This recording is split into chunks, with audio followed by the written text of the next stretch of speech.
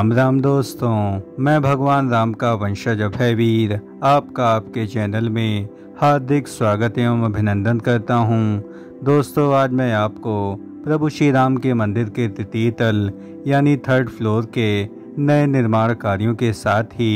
शिखरों पर हो रहे चमत्कारिक निर्माण कार्यों पर सबसे नवीनतम एवं एक्सक्लूसिव जानकारी प्रस्तुत करूँगा प्रभु श्री रामलला की आज प्रातः की श्रृंगार आरती का यह सबसे नवीनतम परिदृश्य है और आप यहाँ देख सकते हैं कि किस प्रकार से रामलला कितने सुंदर एवं मनमोहक लग रहे हैं। और यहाँ पर प्रभु श्री रामलला की दिव्यतम आरती में जो भी भक्तगण उपस्थित होते हैं, वे क्षण भर के लिए अपने कष्टों को भूल जाते हैं एवं उनका हृदय राममय हो जाता है। जन जन के हृदय में बसने वाले प्रभु श्री राम के प्रति अगाध श्रद्धा एवं भक्ति से भरपूर इस चैनल में प्रभु श्री राम की दिव्यतम आत्मा का वास है और जहाँ आत्मा का वास होता है, वहाँ परमात्मा की अपार कृपा दृष्टि अवश्य प्राप्त होती है। अतः इस चैनल से पूरी आत्मीयता एवं श्रद्धा भक्ति भाव से जुड़ें एवं सच्चे हृदय से जय श्री राम ज़रूर लिखें। सामने आप देख सकते हैं किया राम मंदिर के तृतीय तल यानी थर्ड फ्लोर के सबसे नए निर्माण कार्यों का अति दुर्लभ एवं सबसे लेटेस्ट वीडियो है, जो कि आपको कहीं भी अन्यत्र देखने को नहीं मिलेगा। और आप यहाँ देख सकते हैं कि थर्ड फ्लोर के निर्माण कार्यों की गति अब काफ़ी अधिक तेज़ी से बढ़ रही है, और तृतीय तल के निर्माण कार्यों पर श्री राम जन्मभूमि निर्माण समिति द्वारा एक अहम बैठक आयोजित की गई, और जिसमें अयोध्या राम मंदिर के शिखर पर ध्वज लगाए जाने पर विचार विमर्श शुरू कर दिया गया है।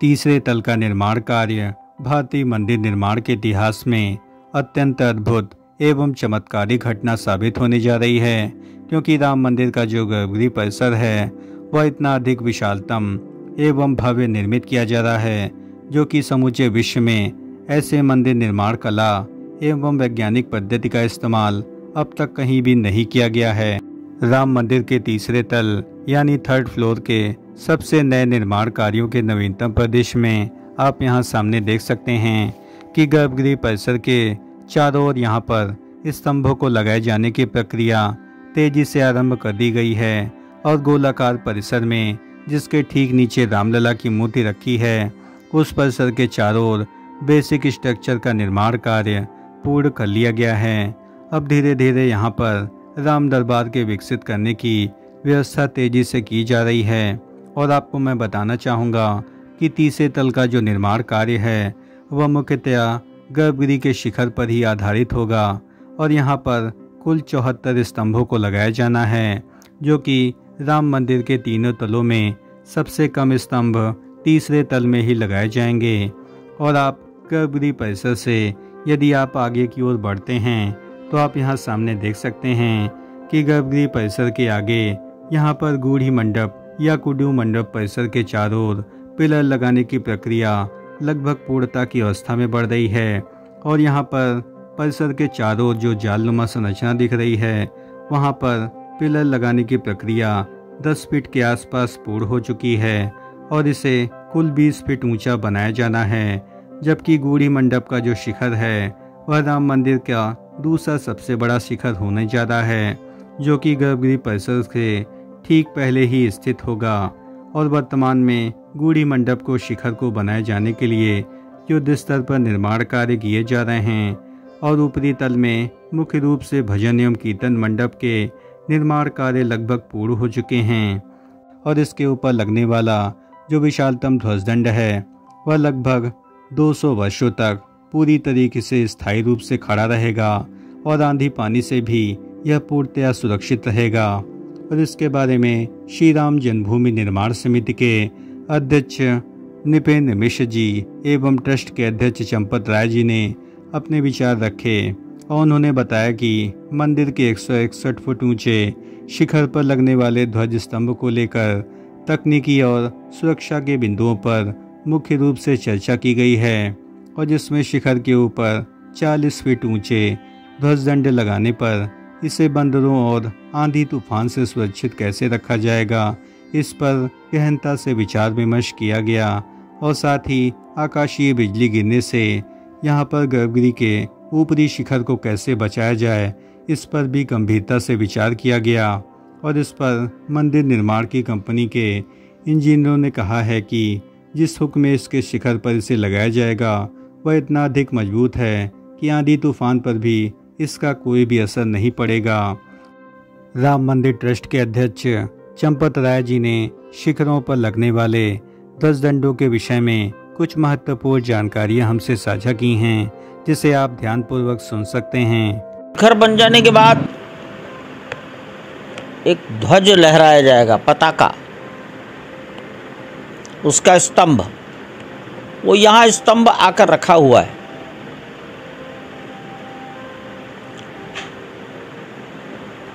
ये स्तंभ जब लग जाएगा तो शिखर से भी 40-45 फीट ऊँचा जाएगा। तो शिखर ग्राउंड लेवल से 161 फीट। अगर शिखर के भी ऊपर 40 फीट पताका गई तो कुल हो गया 200 फीट। ट्रस्ट अध्यक्ष ने यहाँ पर यह स्पष्ट किया है कि शिखर के निर्माण कार्यों के बाद इस पर जो 40 फीट ऊँचा ध्वजदंड लगाया जाएगा, वह जिस धातु का बना है, उस पर मौसम का असर 200 साल तक बिल्कुल भी नहीं पड़ेगा। और हमें यह सूचना मिली है कि यह ध्वजदंड पूरी तरीके से पीतल से निर्मित किया गया है और ज़रूरत पड़ी तो 200 साल के बाद इसे बदल दिया जाएगा और इससे मंदिर निर्माण समिति के सदस्य भारी भरकम ध्वज स्तंभ लगने से सुरक्षा कारणों को लेकर भी काफ़ी अधिक आश्वस्त हुए हैं और उन्होंने बताया कि मंदिर के शिखर का निर्माण कार्य दिसंबर 2024 तक पूरी होने की पूरी उम्मीद है और मंदिर में श्रमिकों की संख्या पर भी बढ़ाए जाने पर विचार विमर्श किया गया। उन्होंने बताया कि दो माह तक बारिश के चलते मंदिर का निर्माण कार्य प्रभावित होगा और पूरी गति से निर्माण कार्य सितंबर से ही शुरू होने की उम्मीद की जा रही है और वर्तमान में लगभग 1500 से अधिक श्रमिक श्री राम जन्मभूमि परिसर में कार्यरत हैं, क्योंकि लगातार बारिश होने के कारण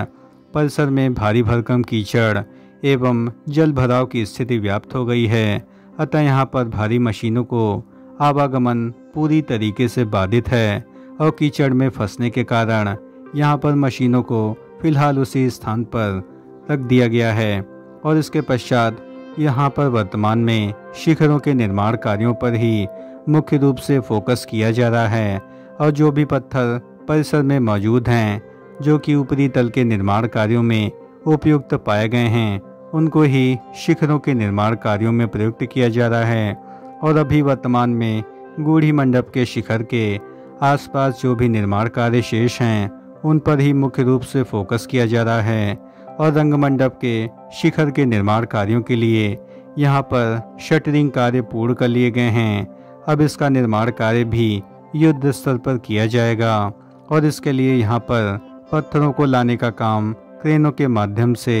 तेज़ी से किया जा रहा है। और रंग मंडप के नवीनतम निर्माण कार्यों की कार्य प्रगति की बात करें तो लगभग सत्तर फ़ीसदी के आसपास इसके निर्माण कार्यों को पूर्ण कर लिया गया है। और यहाँ पर डिज़ाइनदार पत्थरों को लगाने का काम अब तेज़ी से आरंभ कर दिया जाएगा, क्योंकि इसके सबसे ऊपरी शिखर का निर्माण कार्य अभी फ़िलहाल दो से तीन स्टेप ही बचा है और इसका निर्माण कार्य पूर्ण होते ही परिसर में मौजूद जो भी डिजाइनदार पत्थर हैं, जो कि राजस्थान की कार्यशाला एवं काल सेवकपुरम की कार्यशाला से जो भी पत्थर तराशे गए हैं, उन सभी को रंग मंडप के ऊपरी गोलाकार परिसर में तेज़ी से लगाया जाएगा। सामने आप देख सकते हैं कि राम मंदिर के पाँचों शिखरों पर लगने वाले ध्वजदंड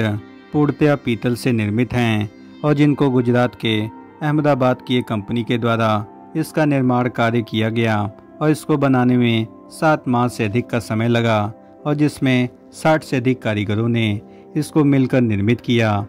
और ये शिखर के ऊपर भगवान राम के मंदिर के गर्भगृह के ठीक ऊपर इन्हें निर्मित किया जाएगा। इसका वज़न पाँच दशमलव पाँच टन का है और जिसे लगाया जाना है और जिसकी ऊंचाई ज़मीन से 220 फीट के आसपास होगी, जो कि भगवान राम के मंदिर के ऊपरी शिखर पर लगाया जाएगा। जबकि भगवान राम के मंदिर का जो शिखर है, वह एक फीट ऊँचा है और इस पर चौवालीस फीट ऊँचा धर्म ध्वज लगाया जाएगा। दोस्तों, प्रभु श्री राम के मंदिर के तृतीय तल, यानी थर्ड फ्लोर के नए निर्माण कार्यों के साथ ही शिखरों पर लगने वाले अद्भुत चमत्कारिक ध्वजदंडों के निर्माण कार्यों के विषय में हमारे द्वारा दी गई जानकारी। यदि आपको ज़रा भी पसंद आई हो तो इस चैनल का हृदय से समर्थन करें, इस चैनल को लाइक करें शेयर करें एवं सब्सक्राइब करें और कमेंट बॉक्स में सच्चे हृदय से जय श्री राम ज़रूर लिखें। धन्यवाद राम राम राम राम।